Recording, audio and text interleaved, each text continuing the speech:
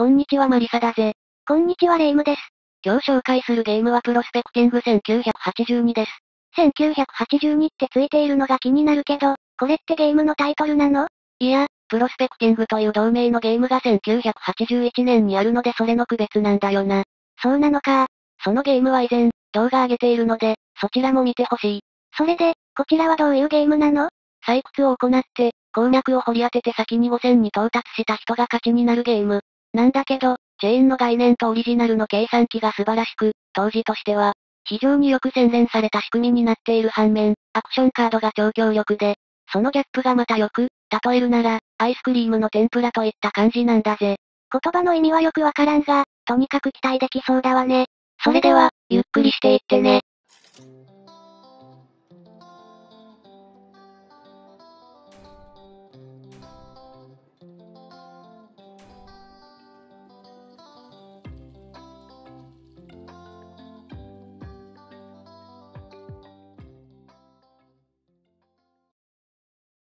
ということで、これが BGG より、プロスペクティング1982の全体図です。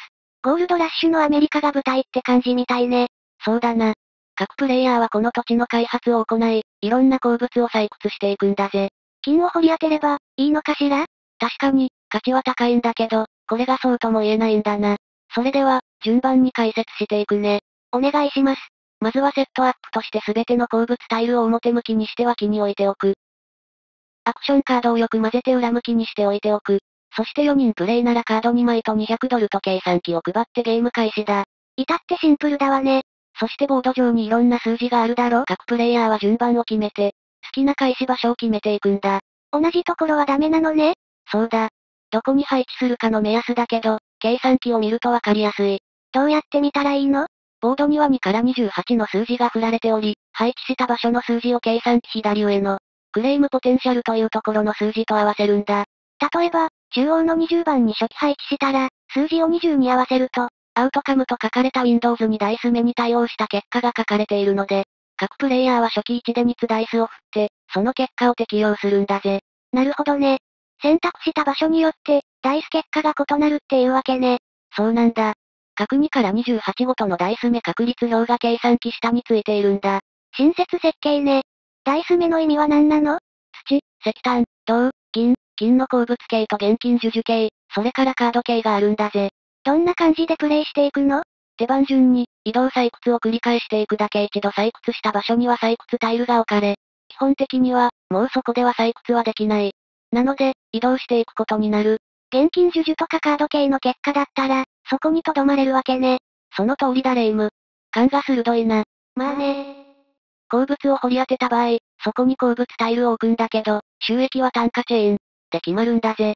単価は計算機のアウトカムの右の数字がそうなのね。うん。土が25ドルで金が100ドルになっている。高い方が当然良いんだよね。もちろん、そうなんだけど、ここでチェーンという概念が出てくるんだ。鉱物タイルを配置したとき、そのタイルと同じ種類の鉱物が隣接している場合、チェーンとみなされて収益が倍になるんだな。隣接というのは、どこまでを指すの？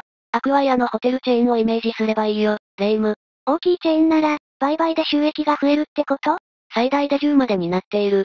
一番安い土が10連続だと ?1 万2800ドルなんだぜ。勝利条件って5000ドルって言ってなかったっけ？そうなんだ。めっちゃバブリーやんけ。なんで関西弁になるのかは不明だが、その通りだよレイム。そして重要なのは、配置した鉱物タイルは共有の鉱物で、誰もが利用できるのさ。じゃあみんなで巨大なチェーンを作っていくのね。そうなんだ。ただし、あまり大きくすると他人がもっと美味しくなるんだよな。ああ、頭脳絶好調とかでよくあるやつね。その通りだよ。で、それを軽減するというか破壊するルールがあって、それがアクションカードの存在なんだな。はじめにも2枚配られているんだけど、アクションカードには8種類あって、強奪、詐欺、税金、違法鉱物、土地没収、キャンセル、旅行、不法占拠の8つだ。どんな効果なの？キャンセル、旅行、不法占拠以外は誰かが鉱脈を掘り当てたタイミングで、出すカードなんだな。ほとんどがインタラクトっていうことね。例えば、詐欺。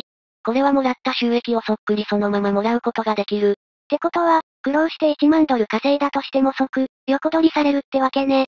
そうなんだな。他も似たようなものなの？泥棒は泥棒にもランクがあってね。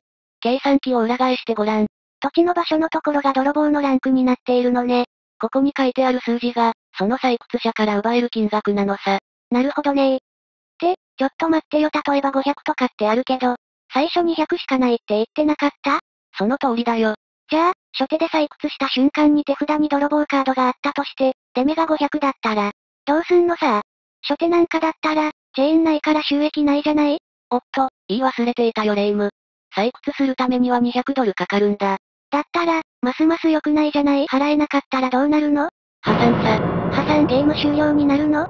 いや、有り金払うだけでよくて、そのまま続行できるんだ。だから序盤の泥棒は怖くない。でも、序盤の採掘費用200ドルは高いわね。もし、200ドルない時に鉱物の芽が出たら？空振りになるだけさ。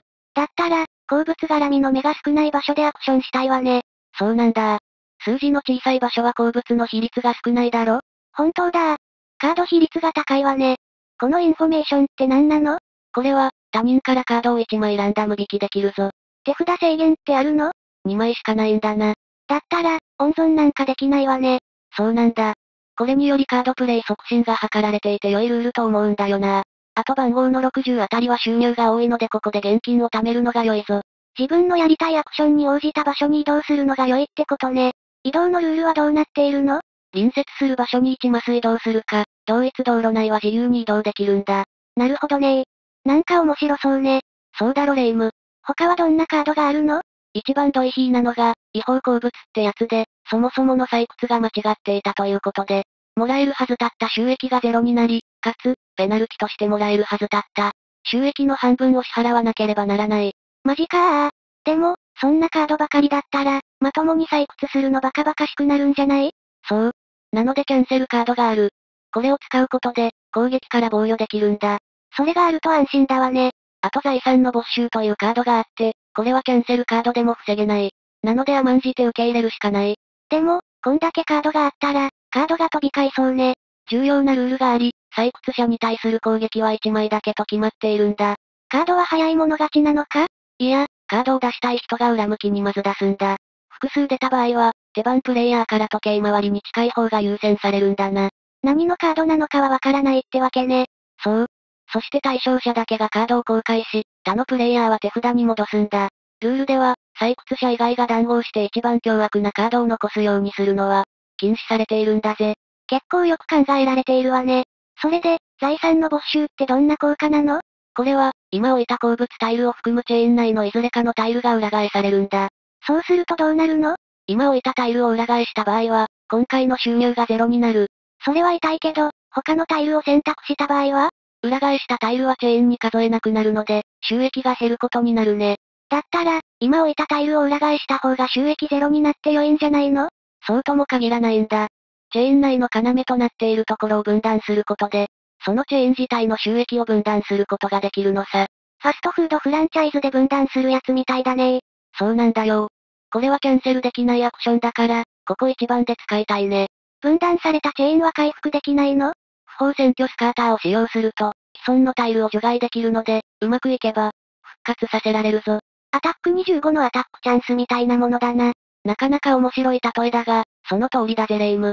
ゲームはどうなったら終わりになるの ?5000 ドル貯まったら終わりになるんだけど、タイミングとしては、収益を得て、相手の、アクションカードのプレイが終わった後、エンドの前にとつぶやきながら勝利宣言をすることになる。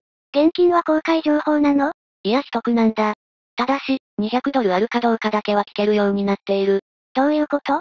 採掘、つまりダイスを触れるかどうかってことさ。